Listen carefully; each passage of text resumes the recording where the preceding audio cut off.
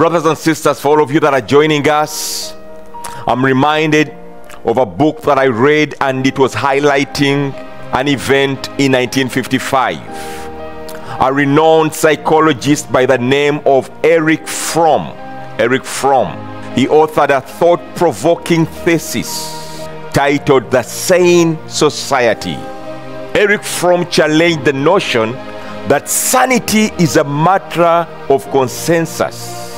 He proposed in his thesis that entire societies, not just individuals, can lack sanity. This idea brings us to a powerful realization. Just because a majority shares a certain idea, it doesn't automatically make them sane. As a matter of fact, a renowned friend of mine told me, Pastor Ronnie, it's a very thin line between being saved and insane. Speaking about sane, Fromm pointed out shared vices don't transform into virtues, and group pathology does not equate to sanity. So his thesis is a reflection that brings us to a critical point. It's not about, about going with the flow. No, it's about having the courage to think differently, to stand firm even when it's unpopular or it's frightening. Can you think differently?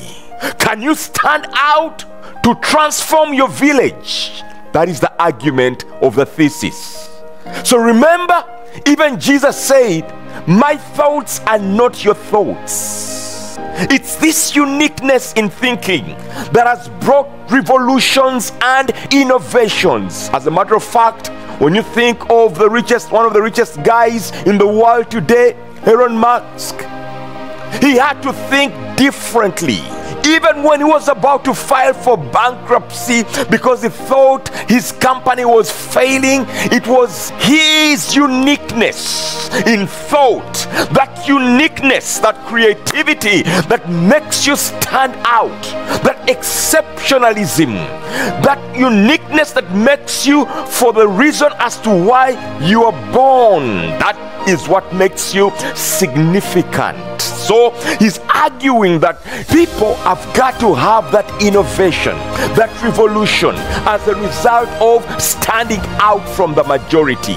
For example, I read in one of the books the founder of FedEx. For those of you that don't know FedEx, over the seas, FedEx is one of the biggest companies that um, transports mail and packages. And the founder of FedEx was once told that his idea wouldn't work, but he chose to think differently.